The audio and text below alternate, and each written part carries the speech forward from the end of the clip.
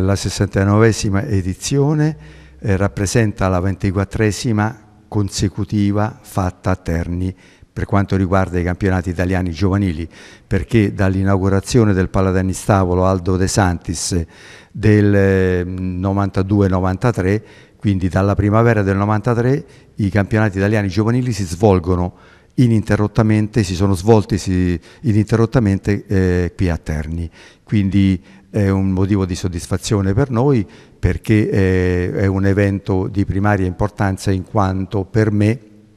i campionati italiani giovanili rappresentano la manifestazione più importante per qualsiasi disciplina sportiva, non soltanto per il tennis tavolo, in quanto i giovani rappresentano il futuro, rappresentano il domani e quindi è chiaro che da,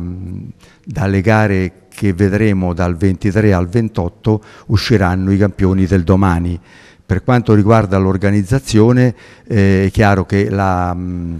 la, la, chi è che indice il, e chi è che è responsabile dell'organizzazione della federazione tennis tavolo, noi siamo cosiddetti affidatari nell'organizzazione della manifestazione stessa. Eh, la federazione in questi anni non ha portato a Terni soltanto i campionati italiani giovanili, ha portato manifestazioni di più alto livello internazionale come per ben due volte i campionati europei giovanili che hanno dato lustro e nome alla città di Terni in tutta Europa, ha portato due campionati italiani assoluti dove per circa 20 giorni ci sono state migliaia e migliaia di giornate presenza negli alberghi, nel territorio,